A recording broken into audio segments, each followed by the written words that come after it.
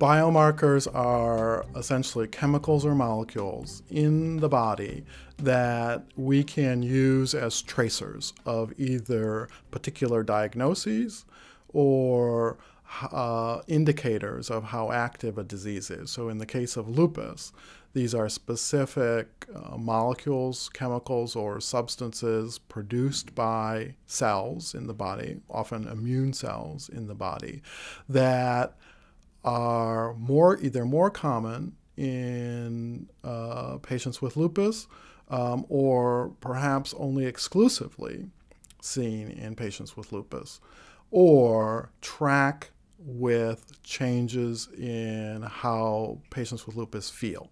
Um, so, exa for example, they may increase during times of worsened disease activity. So, in the presence of skin rashes, in the presence of worse kidney disease, they may be uh, elevated if we test them. Most often tested in the blood, but can also be tested in other fluids. Um, so they're markers uh, and indirect indicators over and above or in addition to markers of how you feel or and indicators of how active lupus is um, that uh, your physician may uh, determine based on exams or um, routine blood tests.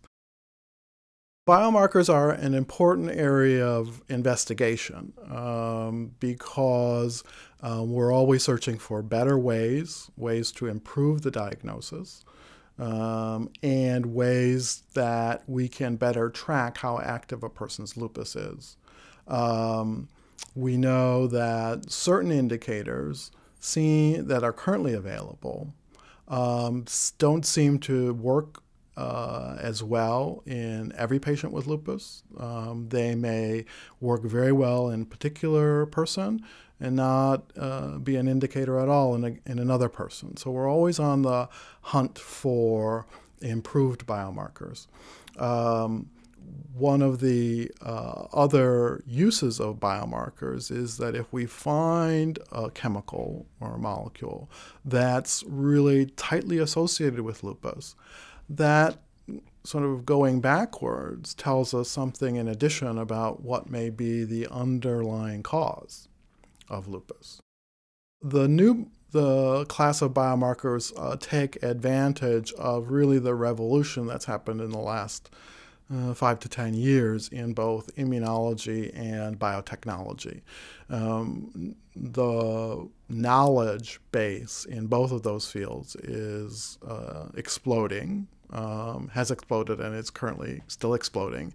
And we are the beneficiaries of that knowledge because it's telling us a lot of information about the molecules on the surface of immune cells that might be involved in lupus, um, the chemicals that these immune cells secrete into the bloodstream, uh, or the um, genetic levels of activity. We know now that certain genes can get turned on and turned off, and some particular sets of genes get preferentially, preferentially turned on in people with lupus compared to people without lupus. Some genes, it appears, are preferentially associated with active lupus rather than inactive lupus. We reviewed the medical literature for the past uh, five years, from mid 2004 to mid 2009, uh, looking to see if we can identify um, new biomarkers in uh, patients with lupus. Uh, and we found uh, over uh, 100 new candidate biomarkers that have been studied in the very, very early phases. We found that uh, in lupus, uh, overall, they're pretty good, not perfect, but pretty good. And certainly in studies of early biomarker testing in lupus, um, outperformed similar studies going on in rheumatoid arthritis, for example. Uh, it's still up in the air as to how many of those may be useful and how many in the future may wind up being something that you could go to your doctor uh, and have tested. I think the bigger dam- bigger danger is uh, abandoning promising biomarkers uh, prematurely uh, because the first test didn't work out. Um, and I think if we pay careful attention to how uh, to design these studies from the start, uh, we'll have a better uh, understanding of what they're actually telling us. Um, uh, as a practical matter, um, going from the initial idea to something that could be uh, ordered in a doctor's office is going to be certainly longer than five years.